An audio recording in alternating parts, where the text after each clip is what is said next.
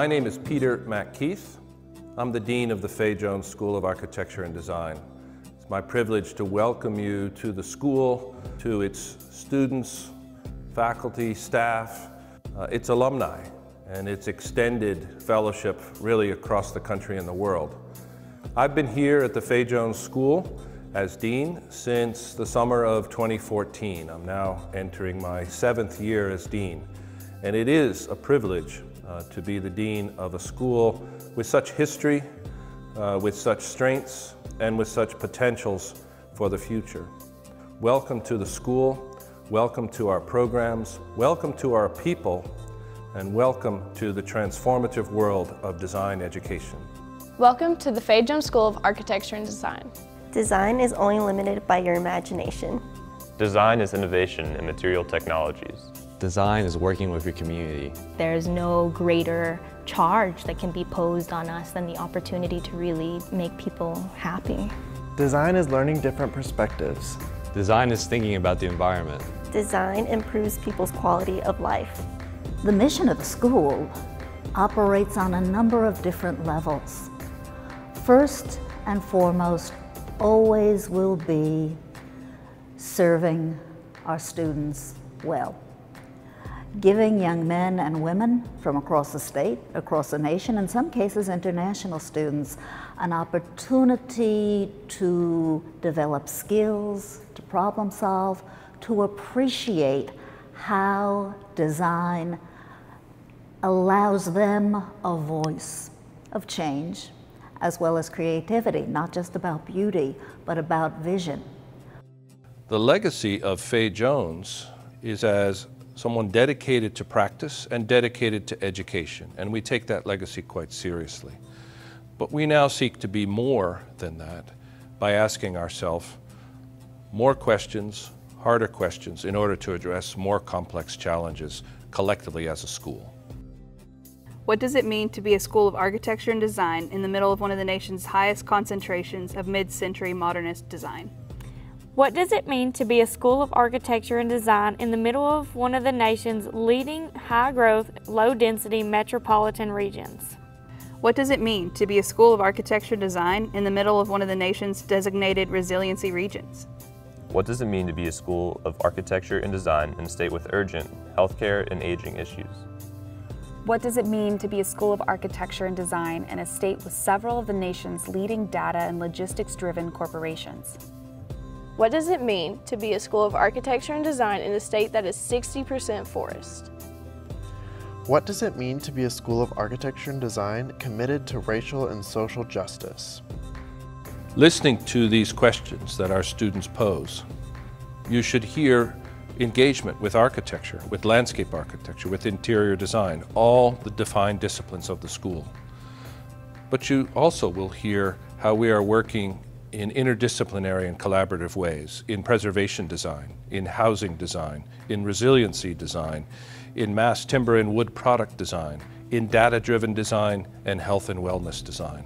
All of these are the collective questions and the collective purposes and the collective mission of the school.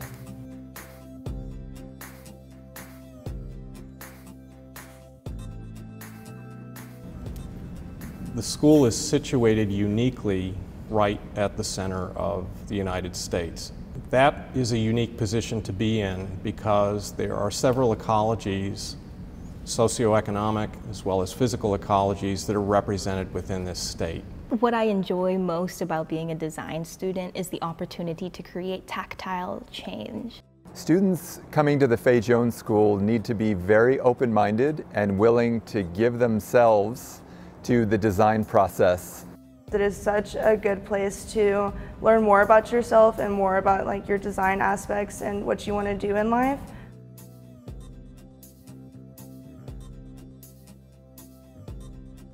Vol Walker Hall was built in 1936 to serve as the university library. And it was a very special building because it was the only classical revival building built in its period. The president of the university thought that a library ought to reflect the great works of ancient Rome and ancient Greece, and thus it's a little bit different from the buildings around us.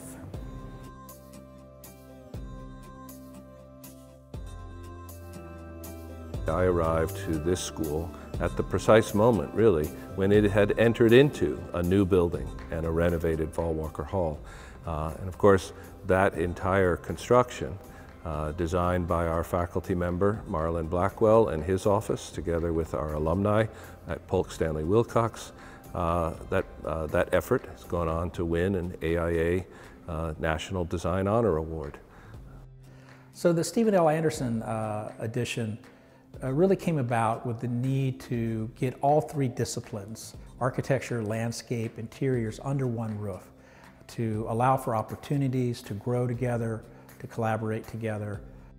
What we were after, both outside and inside, was resonance. Not just trying to be contrast or just trying to make it look like what came before it, but to resonate with it. The new studios allow for uh, larger studios, more collaborative studios from the different disciplines. Uh, I think the auditorium is now becomes a large format classroom as well as for lectures. Uh, the uh, gallery uh, is a, gallery that really acts as a gallery. It's designed like a, a professional gallery. Uh, it can be secured, so now we have traveling exhibits from all over the country, all over the world. Students can see in a didactic way how we build today versus how we used to build. We even did things like when we had to take down the 200-year-old oak trees, we recycled that wood and turned it into a 25-foot by 5-foot tableau, which tells the story of those trees, uh, but also kind of gives it new purpose. Everything in the building is a teaching, a way of teaching. The exit stairs for us are a formal joint between the old and the new. Rather than just being a line, you know, like a caulk joint or something, it's space. It's a spatial joint, it's a formal joint. And what we decided to do there is to make that joint as transparent as possible. The materials of the original sod come from a quarry in Indiana, limestone uh, cladding. So we went to a nearby quarry in Indiana uh, and extract limestone for a, a, a, new technology, a limestone rain screen cladding. Uh, so with more open joints, uh, something that drains better, but a very contemporary envelope system. And then we develop uh, custom uh, curtain wall, uh, steel and glass with 200 foot long brise all of it fabricated uh, right here in Northwest Arkansas. The spaces we use for design education are an integral part of the experience of learning how to become a designer. Let's tour the building and see how the spaces of Walker Hall are part of the teaching and learning process at the Fay Jones School.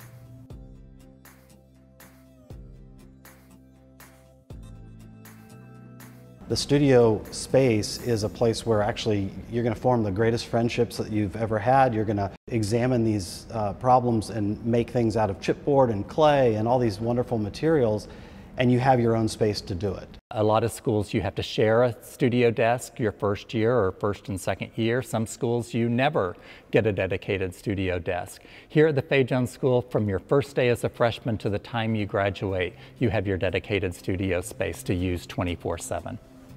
Design Studio is a hub uh, for me. It's a hub for creation, conversation, criticism, and collaboration. Studio is uh, students working together with one or more professors to uh, problem solve on a particular design problem.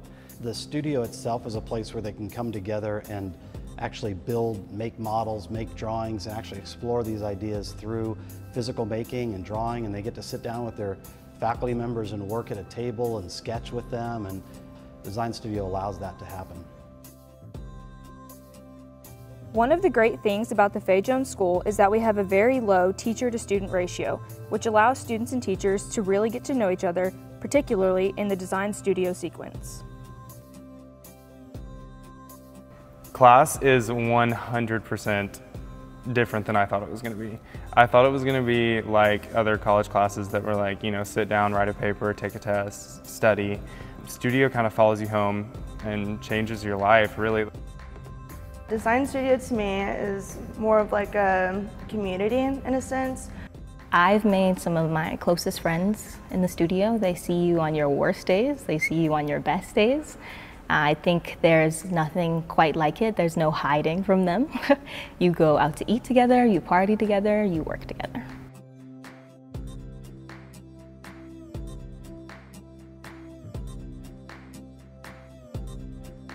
One of the great things about the Fay Jones School of Architecture and Design is our legacy of craft. And that really goes back to Fay Jones and his attention to detail. I'm Justin Tucker. I'm a fabrication specialist at the Fay Jones School uh, with a particular focus on wood technology and design. Uh, right now we're in the wood lab, um, also we call it the wood shop. And um, here students make many amazing things.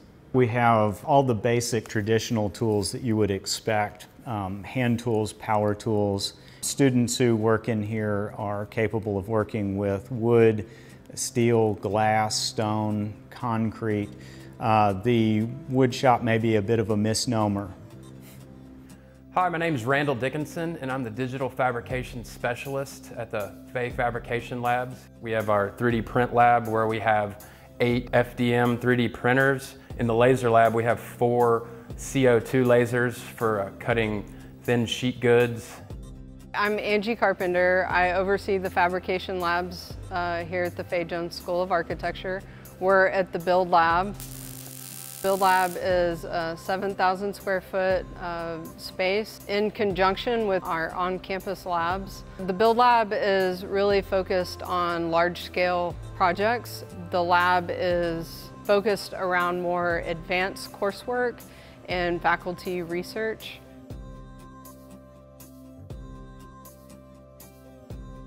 People just like kind of bring their ideas in there and pin up work and it's easy to like critique like with the students and stuff like that.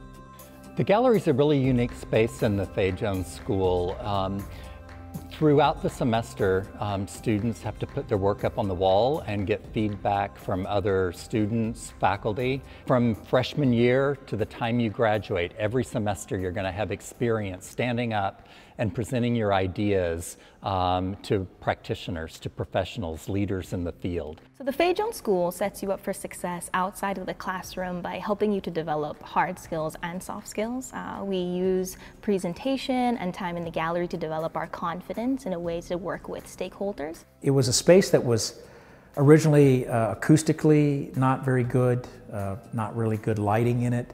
Uh, it just was a, a kind of underutilized space.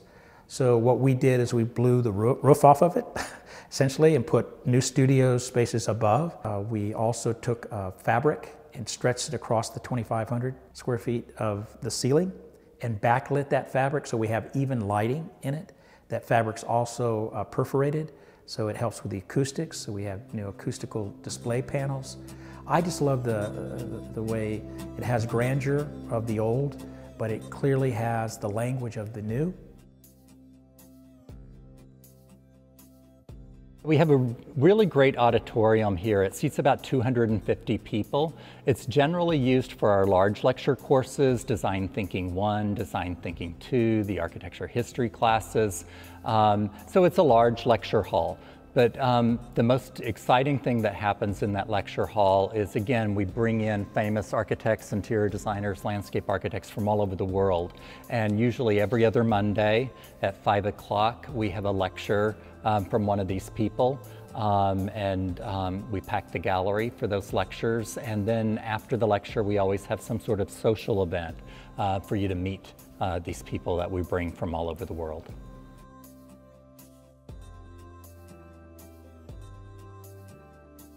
The Smith Exhibition Gallery is uh, new in so many ways for the school in that it provides us with a formal exhibition space. One of the great things about the gallery is that it allows us to bring in work from around the world, visiting artists and architects, designers who are showcasing their work, competitions from the American Institute of Architects, the American Society of Landscape Architects have had um, their competition exhibited here. It also is a great opportunity for local artists to have an, a really museum quality exhibition space for showcasing their work.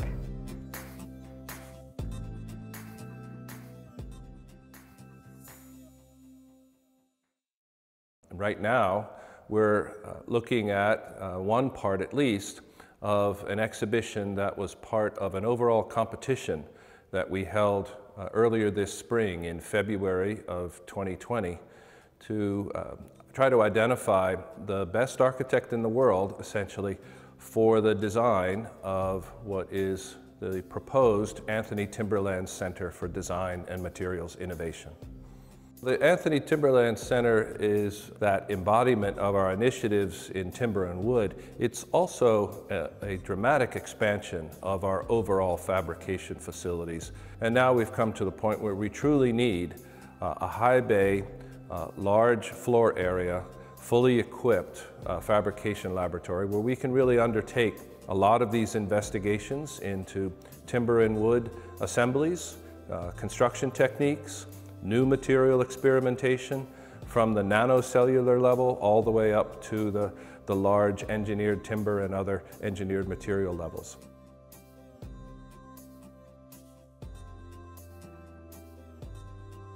The Sky Terrace really becomes a place of uh, refuge and prospect uh, with these fantastic views to the south out over the Boston Mountains, but also a place to kind of retreat into the Sky Terrace is really beneficial for me because, I mean, you get stuck in the studio and you're just always there thinking, I mean, five hours of your studio time just in, in there, you know, trying to think of ideas. And the Sky Terrace, a lot of times we'll go up there to like take a break from class and start thinking outside of studio and just get a breath of fresh air, honestly. I think the best time to go out on the Sky Terrace is um, either at sunset or out for lunch because it's definitely the best lunch spot. That's a brief tour of the spaces that make the Fay Jones School an exceptional experience. The Fay Jones School has a lot of traditions. It's a very kind of unique place. Probably the nuttiest one um, is the, the longest barbecue sandwich. Um, that's, that's always a fun event. Um, to be honest, I've never tasted the barbecue because the students eat it so fast that I never get a chance to get it.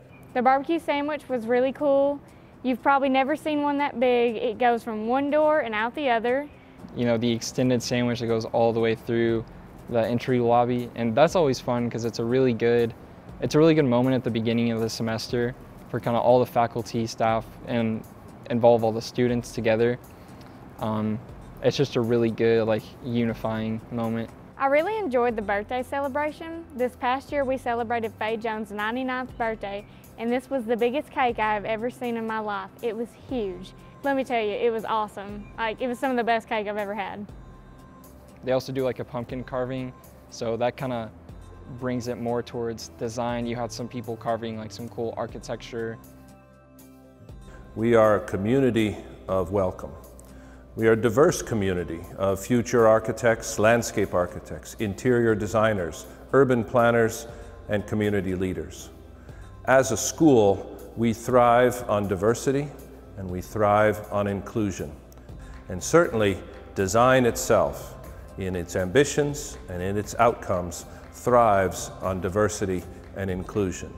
And we welcome students from all across the state, from all of its regions. We welcome all of you in all your diversity, in all your strength, in all that you bring to our school, to this community. Welcome. Welcome to Studio Culture. Welcome to the transformative world of design. Welcome to Thinking Through Design. Welcome to a community of designers. Welcome to problem solving. Welcome to having a voice through design. Welcome to the Fay Jones School of Architecture and Design. Welcome. Welcome.